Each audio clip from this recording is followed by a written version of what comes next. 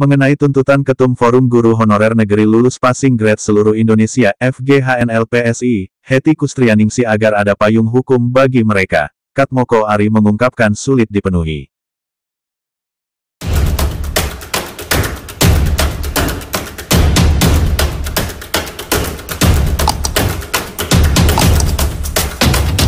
Assalamualaikum warahmatullahi wabarakatuh.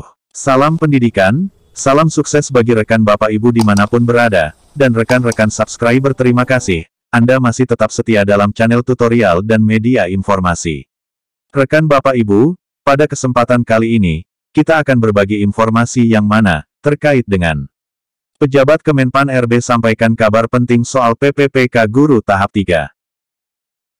Para peserta tes PPPK Guru tahap 2 yang hari ini dinyatakan tidak lulus, siap-siap saja mengikuti seleksi berikutnya. Pemerintah akan tetap menggelar seleksi PPPK Guru tahap 3. Pesertanya ialah guru honorer negeri yang tidak lulus tes tahap 1 dan 2. Kemudian guru swasta dan lulusan pendidikan profesi guru PPG, yang tidak lulus tahap 2. Ditambah lagi dengan guru honorer negeri maupun peserta yang tidak punya formasi di daerahnya. Pelaksana tugas PIT Asdep Perencanaan dan Pengadaan SDM Aparatur Kemenpan RB Katmoko Aris Sambodo mengungkapkan pada seleksi PPPK Guru tahap 3 ini sifatnya nasional. Dengan demikian para peserta bisa memilih formasi lintas kabupaten, kota dan provinsi lainnya. Dia menegaskan bagi para peserta tidak lulus PPPK baik karena formasinya tidak ada maupun formasi habis tetap harus mengikuti seleksi PPPK tahap 3. Seleksi harus diikuti untuk mendapatkan optimalisasi. Yang ingin mendapatkan optimalisasi harus tetap ikut seleksi PPPK Guru tahap 3.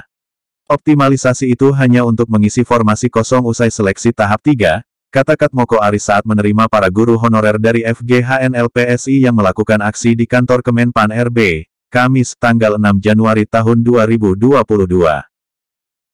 Mengenai tuntutan Ketum Forum Guru Honorer Negeri Lulus Passing Grade Seluruh Indonesia FGHNLPSI, Heti Kustrianingsi agar ada payung hukum bagi mereka, Katmoko Ari mengungkapkan sulit dipenuhi. Hal itu dikarenakan butuh proses panjang, sementara seleksi PPPK Guru 2021 harus sudah diselesaikan secepatnya. Dia hanya menyarankan agar para guru honorer yang lulus passing grade, tetapi tidak punya formasi itu untuk ikut seleksi lagi. Dengan seleksi ketiga, para peserta bisa memperbaiki nilainya. Kawan-kawan guru honorer bisa berebut formasi lagi di tahap ketiga. Jangkauannya lebih luas, ucapnya. Dia menyebutkan seleksi PPPK Guru 2021 akan menjadi bahan evaluasi dalam pengadaan ASN 2022.